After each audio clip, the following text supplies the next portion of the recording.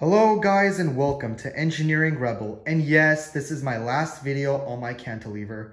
I was originally planning on making two more videos to finish off this project, but I decided that the three things that I was gonna make for those two videos, I would just do in one video and finish it all off with this video right now.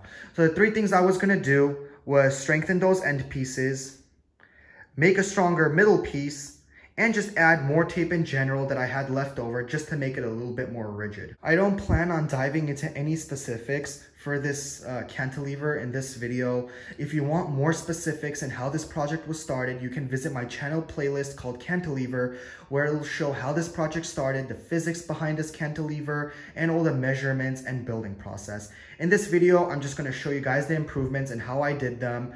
And before we get into that, I would like to give a very big shout out. The person that I would like to shout out is my dear friend Karo. Karo is doing a carrot cake sale, and if you are interested in buying a carrot cake, you should definitely visit his Instagram.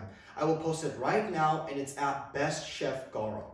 If you are interested in buying a carrot cake, you should DM or message him, and he will get back to you as soon as possible.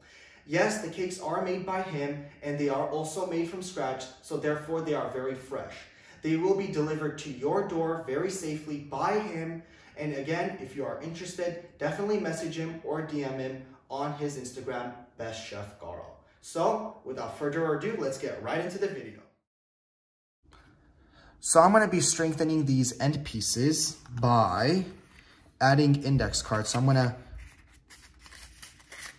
roll them up like this and then stick them inside this tube. Same with this one. Now I can replace this, but I really don't want to. It's a good piece, so I'm just gonna put this in here, and it's the perfect size for it. So that's all I have to do.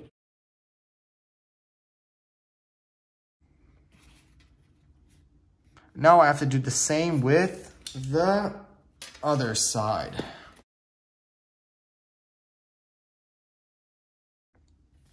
So I fitted the index card to both ends and I just need to secure it.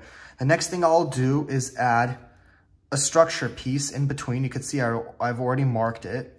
And after that, I'll just add, just in general, a little bit more tape uh, because I have some left over. And yeah, I should uh, put it up on display and we'll see how it does.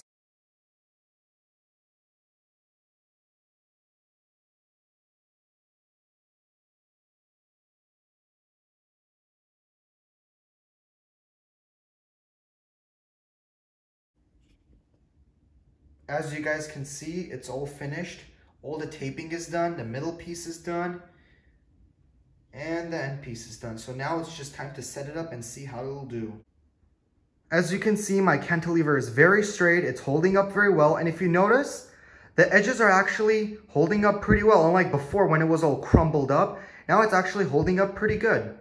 And that middle piece is doing very well as you can see, because it's not shifting over anything, it's holding up very strong. So overall, it looks pretty good.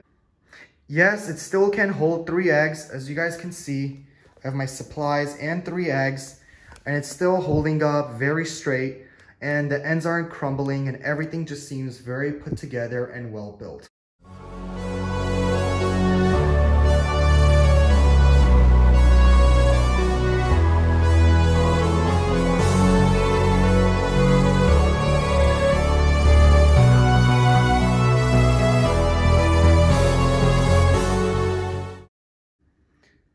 So that wraps it up for this video. Thank you so much. This will be the last video on this cantilever again. More videos will be coming and please make sure to like, subscribe, and share to others. Thank you so much and I'll see you guys in the next one.